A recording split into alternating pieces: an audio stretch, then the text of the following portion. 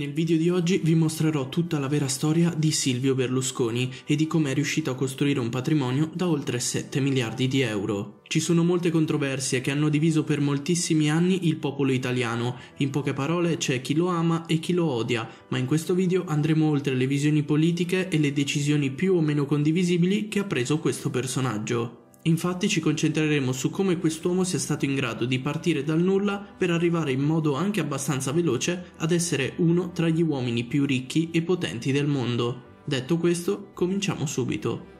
La carriera imprenditoriale di Silvio Berlusconi ha origine al compimento dei suoi 25 anni. Fino ad allora aveva studiato e si era laureato alla facoltà di giurisprudenza con 110 lode e per raccimolare alcuni soldi faceva il cantante sulle navi da crociera e l'animatore due lavori che gli permisero di capire come si intrattiene un pubblico e soprattutto come si crea un legame di fiducia con i propri ascoltatori. Subito dopo essersi laureato volle gettarsi nel mondo dell'imprenditoria per il semplice motivo che non voleva essere comandato da nessuno, quindi si mise subito alla ricerca di un mercato profittevole e decise di entrare nel mondo dell'edilizia. All'epoca suo padre lavorava presso una banca e proprio grazie a lui Silvio fu in grado di conoscere Pietro Canali, un noto costruttore che aveva già realizzato vari immobili sparsi per Milano. Berlusconi quindi preparò un progetto da proporre proprio a questo noto imprenditore, proponendogli l'apertura di una società. Come ho detto inizialmente però, Berlusconi non nasceva in un contesto ricco ed i soldi necessari all'apertura della società furono presi dai risparmi per la pensione che aveva accumulato suo padre, che per la paura di non rivedere mai più quel denaro passò moltissime notte insonni. Berlusconi aveva solamente 25 anni, ma Canali decise comunque di accettare il suo progetto. Dopo una difficile contrattazione,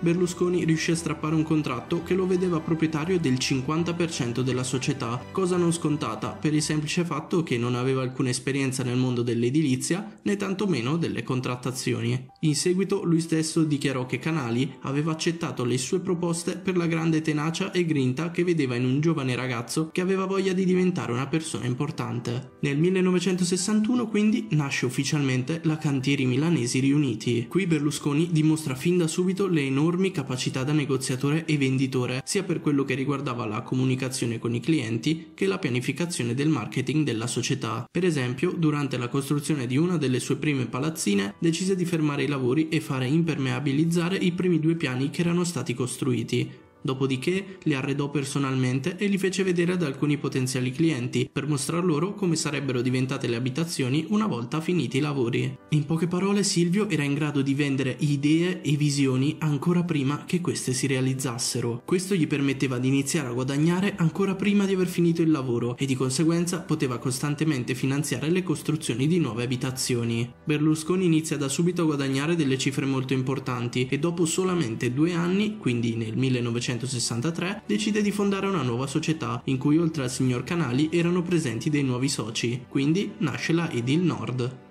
Fino a qui sembra andare tutto a gonfie vele per Silvio, ma ben presto le cose diventarono molto più complesse. Infatti, negli anni successivi ricevette molti soldi da alcune holding prevalentemente svizzere, attraverso una rete costituita come si fa solitamente per il riciclo di denaro sporco, ma il processo per cui fu chiamato in causa finì in prescrizione. Ancora oggi non si sa effettivamente se Berlusconi fosse colpevole, ma il fatto che il reato sia finito in prescrizione non significa sicuramente che fosse innocente. In ogni caso riuscì a sfuggire ad una situazione che avrebbe avrebbe potuto mandare all'aria tutto quello che aveva costruito fino a quel punto. Negli anni 70 Silvio Berlusconi è ormai un imprenditore molto conosciuto e affermato all'interno dei mercati edilizi di Milano e proprio in quegli anni, in cui c'era sempre più richiesta per ciò che riguardava l'acquisto e l'affitto di abitazioni, decise di avviare un nuovo progetto molto ambizioso.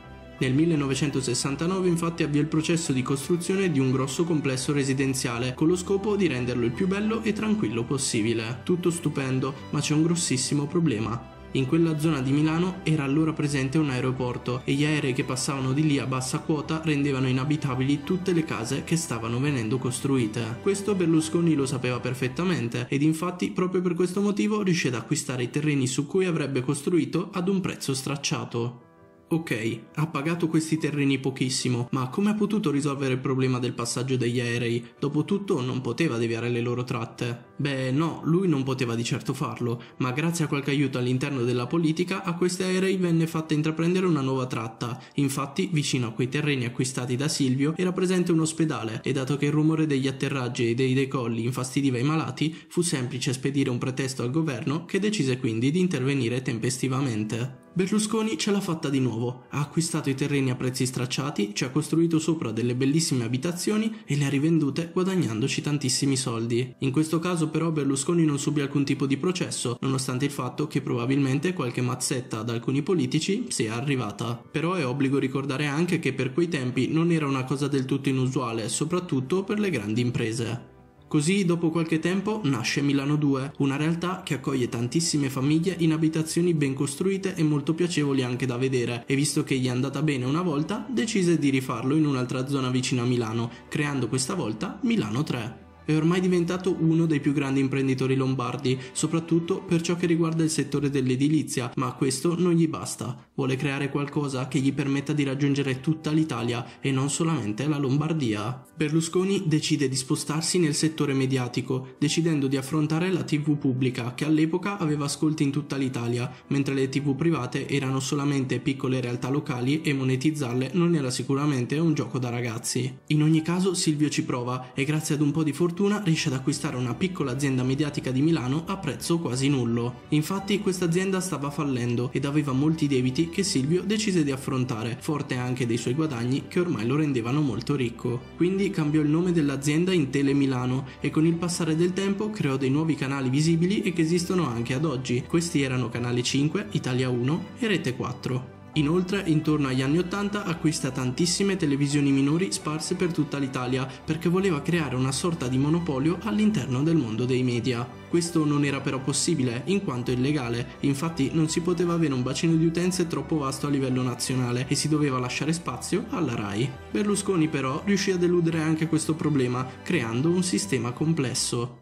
In poche parole, i programmi venivano registrati e spediti a tutte le piccole emittenti locali di proprietà di Berlusconi, in modo che allo stesso orario dello stesso giorno tutti gli italiani potessero vedere contemporaneamente lo stesso programma, e tutto senza andare ad infrangere la legge. Infatti non esisteva un'unica azienda mediatica che proponeva lo stesso programma, erano semplicemente moltissime piccole imprese che decidevano in modo autonomo di far vedere lo stesso programma alla stessa ora, un po' come una buffa coincidenza. Ora Berlusconi ha in mano grandissima parte dell'utenza italiana, che si sta abituando a guardare sempre gli stessi programmi agli stessi orari. Ma a cosa serviva questo? Beh, Berlusconi era una persona davvero lungimirante ed infatti era riuscito a capire come guadagnare all'interno dei suoi programmi inserendo numerosissime pubblicità, circa una ogni 20 minuti, arrivando a competere in modo molto diretto con la RAI. Inoltre fondò una nuova agenzia di intermediazione tra le reti televisive e le aziende che volevano apparire nelle pause pubblicitarie, eliminando ulteriori costi e creando sempre maggiori entrate. Oltretutto, creando molti più spazi pubblicitari, Berlusconi poteva venderli a prezzi ridotti rispetto a quelli proposti dalla RAI, diventando molto più appetibile anche per le aziende. Insomma, stava distruggendo la RAI sotto ogni punto di vista. Il giochino funziona per alcuni anni, dato che nell'84 le reti televisive di Berlusconi vennero oscurate, in quanto effettivamente violavano la legge. Queste censure però non durarono molto, in quanto anche questa volta, grazie ad alcuni aiuti politici, venne cambiata la legge e ciò che prima Berlusconi doveva fare con degli stratagemmi particolari era ormai diventato legale e a questo punto nasce Mediaset. Negli anni a seguire Mediaset si espanse anche in Francia e in Spagna, anche se solamente in Spagna riuscì a raggiungere un grandissimo pubblico, mentre per ciò che riguarda dalla Francia fu solamente un fallimento e solo qualche anno dopo dovette chiudere. Affermato anche il successo a livello mediatico, Berlusconi decide di entrare a far parte di altre grandi realtà italiane come per esempio Mondadori e già nel 79 aveva acquisito gran parte della testata giornalistica Il Giornale. Decise anche di entrare nel settore della finanza, diventando cofondatore di Banca Mediolanum, che ad oggi rappresenta una delle quote più grandi presenti all'interno di Fininvest, la holding della famiglia Berlusconi.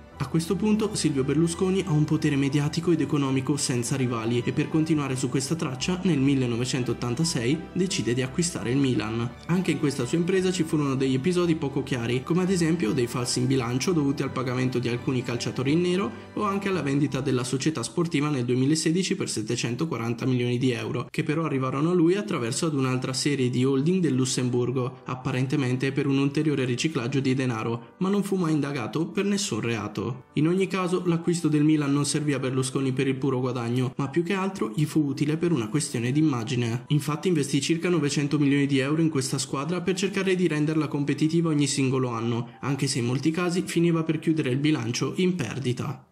In questi 30 anni la sua squadra riuscì a vincere tantissimi trofei e a raggiungere risultati che sono ancora oggi scritti nella storia del calcio e per quanto possa sembrare strano, tutto ciò gli tornò estremamente utile in ambito politico. Infatti era riuscito ad ottenere grande notorietà, non esistevano persone in Italia che non conoscessero Silvio Berlusconi ed era ormai un personaggio che quasi tutti vedevano in modo simpatico, tanto che nel 1994 inizia realmente la sua carriera politica. Qui si presenta con un volto nuovo e pulito, affermando che in quanto imprenditore di successo non avrebbe bisogno di ricevere alcuna mazzetta e sarebbe in grado di gestire l'economia del paese nel modo più onesto possibile e per il bene dell'Italia. Nasce il partito di Forza Italia, che fu inizialmente molto apprezzato dagli italiani, anche se in seguito a vari scandali, soprattutto per corruzione, Berlusconi fu costretto ad uscire completamente dal mondo della politica. Dopo qualche anno però si ripresentò e nel 2001 riuscì a vincere la campagna elettorale con la promessa di abbassare le tasse, promessa che fu mantenuta, in quanto furono abbassate di quasi due punti punti percentuali, anche se solamente per un anno, e negli anni a seguire alzò anche l'età pensionabile facendola passare da 57 a 60 anni. La sua carriera politica durò molti anni e fu piena di scandali e controversie, basti pensare alle numerose leggi ad personam che furono emanate e che casualmente servivano proprio a Berlusconi per evitare di scontare delle pene. In ogni caso nel mondo della politica fu amato da molti ed odiato da altrettanti, ma credo che l'aspetto politico sia molto personale e non voglio esprimere alcun giudizio in merito.